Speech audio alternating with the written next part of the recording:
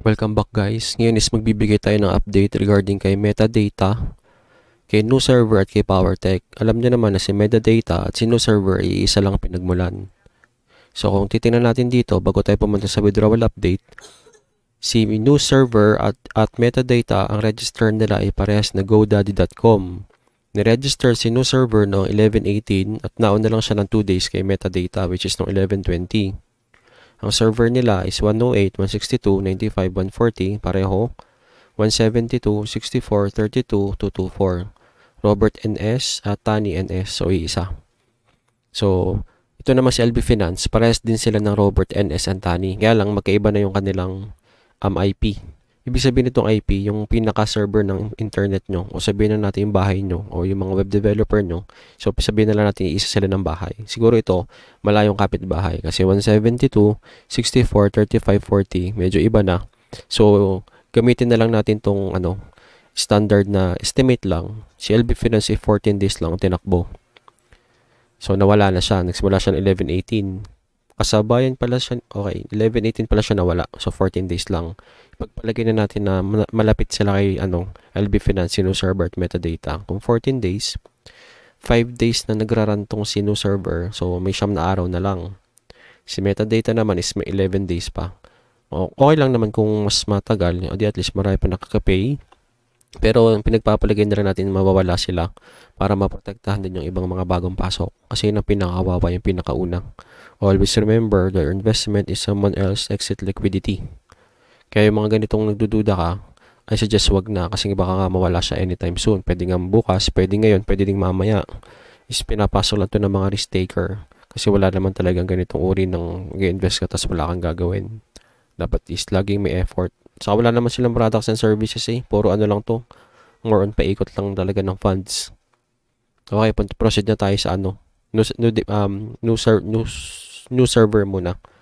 Ito is nung 11.23 which is today alauna. Pumasok siya 410. Nagtry ako ngayong umaga 9.20. 460. Kinancel siya and returned. Inulit ko uli. Itong 12.48. Ngayon lang to. Ngayon is alauna pa lang eh. So ilang minutes pa lang which is 500. Yan. And good thing, dumating naman siya. 48, 1248, dumating ng 1252. So, 4 minutes lang. So, ayan, dumating pa siya. Paying pa naman itong Sino server. Then, ito naman, proceed naman tayo kay metadata.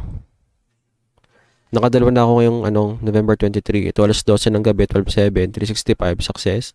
And 9.53, 355, success din siya. So, check natin. Ayun, 355. Dumating siya ng 10.15. Bale, 15 plus 7, 22. 22 minutes. Um, inaalam ko lagi yung ano, duration ng ability ng time frame ng ability to pay nila. Kasi kapag lumampas doon, hindi ko na siya inaano. Pinagpapalagay ko na siya na wala. Eh ngayon naman is medyo mabilis pa sila.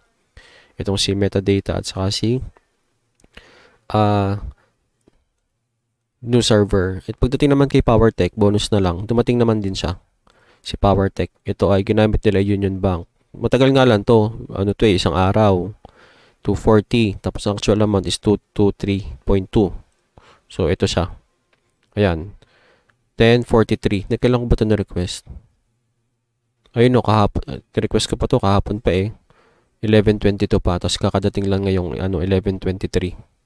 Mahigit isang araw. Labis pa nga eh. 10.43 a.m. So, okay pa naman din si PowerTech. Then, proceed balik tayo dito. Check natin si PowerTech. Si PowerTech ay yan, Parkban LLC. Bago to, kaya wala pa tayo masyadong idea. Wala na si Shib. Nag-stop siya ngayong 11.23. Hindi na mabuksan yung site-site niya.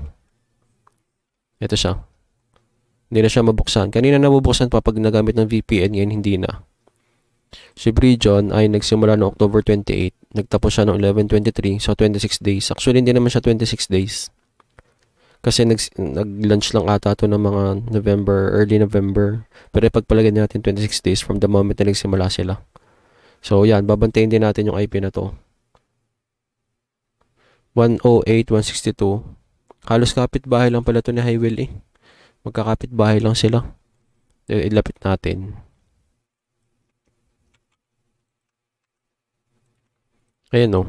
Pare silang, ah hindi pala, Bob to. Ito si Bella. Pero yung 108, 162, 192, 1, okay, malaylay din naman. So, yun, 26 days. Wala na yung ship region. Cash gold, iba din to. Power right, okay? So, yun, yun lang. Sino pa bang katulad ni news, news, news site? Baka may malapit pa to. Hindi ko na nagawa ng ganito yung previews.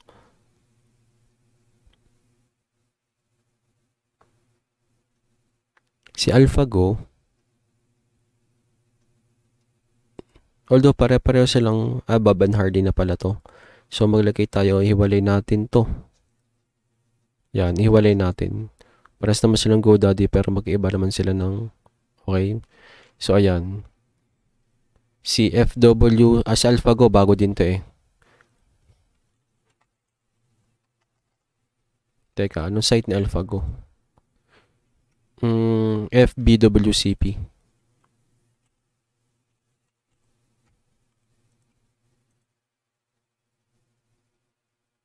Yan, may free siyang 15. Ang, ang maganda sa withdraw nito, si AlphaGo, mababa.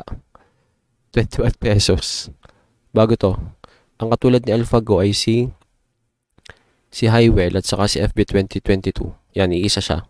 Pareho, 162, 159, 162, 159. Parehas din ng dulo, 238, 238. Parehas silang Bob, Bob, Harley, Harley.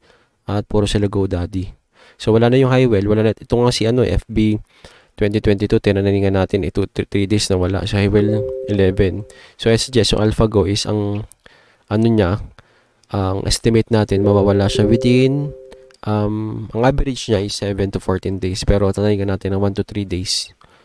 As of now is ano naman siya kaka-launch lang niya nung 22, 23 one day pa lang. So 7 to 14 days ang ano average nito. Okay. So yun pa lang yung ating site ngayon. So ito um, to wrap up, no server metadata paying pa pero anytime soon pwede naman silang mawala. Tapos ito last na lang paalala sa inyo. Durapi galit na galit sa mga ganitong klaseng sistemang panluloko and then yung mga anak niya, papatol? Of course na. Double your money. Paulit-ulit ko sinasabi rito, yung mga bangko hindi kayang ibigayan. Maging yung mga kumpanya na naghukay ng ginto, hindi kayang ibigayan, double money. Pinakamalaking korporasyon, San Miguel Corporation, hindi kayang ibigayan sa kanilang mga investor, yung double money. Maging yung SM na pinakamayamang tao sa Pilipinas, sa buong Asia pa, with all their businesses and malls, hindi sila makapagbigay ng double money sa kanilang mga investors. Yan pa kaya mga uhuging, pipitsuging, mga puton lupang ipis, anay, magbibigay sa inyo ng double your money. So, yun lang. Uh, beat the system, protect your money. I'm out. Bye-bye.